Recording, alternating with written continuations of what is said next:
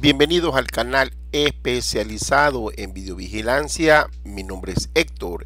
En esta oportunidad vamos a entregar un video muy útil sobre cómo registrar una alarma a través de lo que se conoce como push alarma en los grabadores de marca DAWA con la PPS GDMS Plus. ¿Qué es lo que consiste? Primero eh, agradeciendo a todos los suscritos, ya somos más de 16 mil que siguen este canal de, de videotutoriales enfocado a las cámaras de seguridad. Este es mi número telefónico, mi nombre es Héctor, estoy en Guayaquil, Ecuador. Si necesitan algún tipo de asesoría o me quieren hacer algún tipo de consulta, me puedes hacer un me puedes hacer por el WhatsApp nosotros dedicamos a la venta, instalación de todo lo relacionado a cámaras de seguridad. Bueno, retornando al tema, el objetivo general, ¿en qué consiste? Nosotros, haciendo una analogía, ¿qué es lo que pasaba antes? Que nosotros recibíamos una imagen, una foto al correo electrónico cuando detectaba un movimiento. En esta nueva versión del GDMS Plus de la empresa DAWA, ya nos permite administrar lo que no se podía hacer con anterioridad.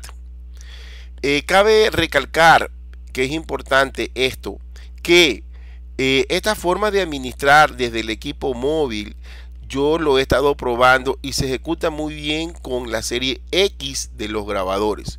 Con las versiones anteriores, este tipo de configuración eh, no funciona bien. Parece que es en sí el firmware o la compatibilidad pero lo puedes configurar en el firmware del mismo grabador.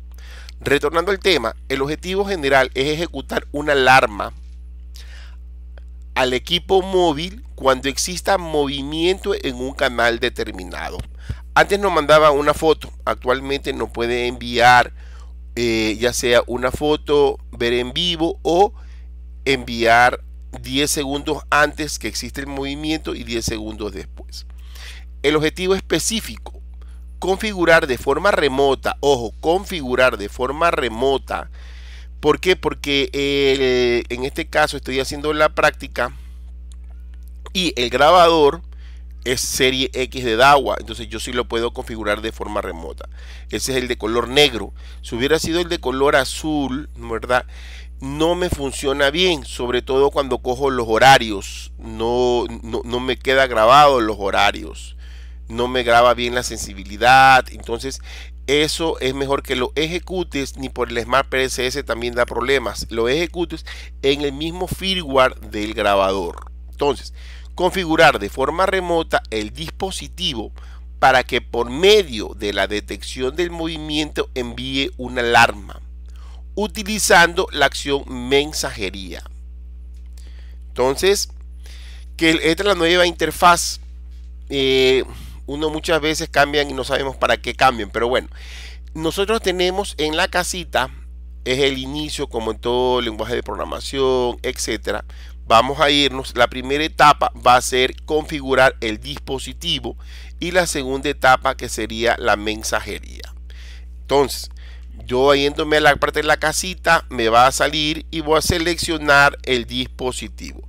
Vamos a ver poco a poco cómo pasan los días, las semanas, cada una de estas opciones. De dispositivos y me va a salir todos los dispositivos, todos los grabadores que tengo asignado, cámara, etcétera. Entonces vamos a trabajar con dispositivos y con mensaje. En este caso nos vamos a, a dispositivo y selecciono. Yo estoy cogiendo una empresa de uno de mis clientes que se llama Yafesa. Selecciono en este caso haciéndole clic haciéndole clic y él accede al, a ese grabador. Entonces, en el próximo video voy a hacer estas opciones, que ya lo tengo hecho. Y nos vamos a lo que dice es configuración remota. En configuración remota, haciéndole clic en configuración remoto, él me dice, puedes hacer una detección de video, ajustes de cámara, gestión de almacenamiento. Para eh, tener relación al, al video que estamos haciendo, nos vamos a ir por detección de video me dice, ¿qué quieres hacer? ¿Vas a, detectar un movimiento o un escalamiento? Escalamiento significa que vas a poner una, un, cuadro negro, pero bueno, vamos por detección de movimiento y él me dice, bueno, quieres detectar movimiento, pero dime de qué canal. Eso es lo que te pregunta. Entonces, en este caso, por default o por fábrica te sale el canal 1. Pero dentro de la vida real lo que yo hice, yo me fui a bodega, a bodega que es 1, 2, 3, 4, 5. Yo selecciono el quinto, ojo importante, para que no te confundas. Después de seleccionar tienes que presionar el botón como el disquete, guardar. Para que cuando guardes, guardes, te va a salir otro menú. Entonces dice, ah, ya estás en detección de movimiento, vas a permitir sí. Entonces lo que tú modifiques aquí en la serie X se va a modificar en el grabador, en el firmware de grabador de forma remota. Eh, cuando no es la serie X, la anterior es, no he podido configurarlo bien, me da algunos problemas eh, en, la, administración, pero lo puedes hacer en el mismo firmware de grabado. Tienes las opciones avanzadas. Yo cuando está de color azul significa que está activo. Cuando está de color blanco no. Entonces solamente tienes eh, permitir.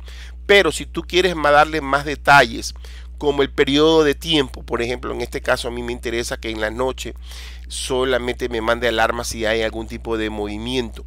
Puedes poner la sensibilidad, que por default viene 80, puede bajar a 20, 30, 40, para que no te mande porque volvió una paloma, etcétera, y enseguida te manda un, un video. Y puedes configurar la región. Estas tres variables son las más importantes. Aquí tú puedes seleccionar el periodo. A través de, de la lápiz puedes ir marcando qué periodo quieres en este caso yo estoy diciendo que desde las 6 de la mañana hasta las 8 de la noche no me funcione y que en la madrugada sí me esté funcionando la detección de movimiento. Aquí viene a ser la parte de si hago clic en sensibilidad puede bajar, te sale un progress bar, lo puedes bajar en configuración de la región, puedes aquí por default viene todo marcado. Tú puedes es utilizando estos objetos ir marcando el área que te interese, que te interese es una bodega y esto es en la vida real y quiero que por ejemplo que me marque toda la bodega, pero yo quisiera que solamente me marque la, puerta o aquí también es otra puerta donde guardan los camiones. Entonces yo pusiera es marcar esta área. Por default viene de color como rojizo, que te indica que está cogiendo todo el área. Aquí puedes seleccionar el área que necesitas. Ya después que tú ya seleccionas los principales parámetros, que son tiempo, sensibilidad y área de cobertura, le vas a presionar grabar. Si no le presionas grabar, no haces nada de lo que no no no almacenas lo que estás haciendo. Entonces ahí termina. Entonces tú en dispositivo lo que vas a poner es el parámetro de qué, qué es lo que seleccionamos, qué cámara fue haciendo un resumen, qué cámara seleccionamos, ¿no verdad? Y los parámetros, parámetros de horario, parámetros de, sensibilidad, parámetro de área de cobertura. ¿no verdad? Si no coges nada de eso, automáticamente te coge todo el tiempo, o sea, las 24 horas todos los días. En mensajería le vas es a indicar, en, indicar qué parámetros. Sabemos qué parámetros cogemos dispositivo, atacamos al, al, canal que necesitamos, al o a los canales, puede ser varios, y mira que aquí nos va a llegar algo así detección de movimiento. Me voy a poner la fecha y la hora que detectó el movimiento. Entonces me voy a mensajería. De mensajería va a tener un listado de todos los eh, momentos que hubo movimiento. 5 de la mañana, 4 de la mañana. Si yo no los quiero, yo los puedo eliminar con este tachito de basura. Bien, entonces yo voy a añadir, añadir para que me llegue una mensajería. Voy a ir a la parte superior izquierda, aquí donde está este más, y yo voy a seleccionar que qué alarma voy a registrar, qué alarma voy a registrar. En este caso, qué alarma yo voy a tener que registrar. Y en este caso estamos hablando de Yafesa. Si yo veo, me dice cerrar. Cuando yo vea la palabra cerrar, significa que no tiene ninguna eh, mensaje activado. Llamémoslo así, activado. O sea, no, no va a recibir nada. Cuando yo ya lo tengo vacío, significa que ya está es activado ese grabador para recibir en este caso la BPS, lo que es la alarma, lo que corresponde a mensajería. Entonces yo pongo a Yafesa, él me dice monitor, aquí vas a tener, tienes que, vas a tener activado, vas a tener tres opciones, vas a tener monitor para ver en tiempo real, vas a tener eh, video para ver hacia atrás 10 segundos y vas a poder mandar una foto. Esto no te olvides, si pones monitor vas a ver en línea lo que está pasando, pero no puedes ver qué pasó Para ver qué pasó, puedes decir que te manda un video, las imágenes hacia atrás. Tienes detección de caras y detección de movimiento. Te vas a la opción de, perdón, de video sensor. Aquí te vas a esta opción donde dice video sensor. Vas detección de video y seleccionas la cámara que tú anteriormente ya llenaste los parámetros en dispositivos. Le pones grabar aquí le pongo monitor, le puedo haber puesto video para que te vea monitor en línea y video. Te sugiero mejor que le pongas video porque ves qué pasó y te manda cuando hubo el movimiento. Le vas a poner es grabar y te vas a dar cuenta que te va a quedarte en blanco y te va a salir correcto push. Correcto push te va a salir un mensaje. Nada más, espero que te haya gustado. Eh, ya nos olvidamos de mandar fotos a través del correo electrónico que no funciona, que el bloque no se la, las puertas del Gmail, etcétera. Esto funciona, puedes poner uno o en varias cámaras. Te visita mi sitio web, voy a poner nuevas cosas interesantes, ayúdame también para yo mejorar un poco el posicionamiento. Estábamos pensando, tenemos tres grupos de WhatsApp, eh, ya vamos por el cuarto grupo de WhatsApp, más de 50 miembros cada uno y estamos pensando hacer un sitio web donde estén las direcciones, los links para hacer link a los sitios web de otras empresas de México, de Colombia, de Perú, de Bolivia, para ver si todos nos ayudamos eh, y podemos eh, formalizar, llamémoslas así, empresas que se dediquen al sistema de, de videovigilancia o en general a la seguridad electrónica. Saludos desde Guayaquil, Ecuador.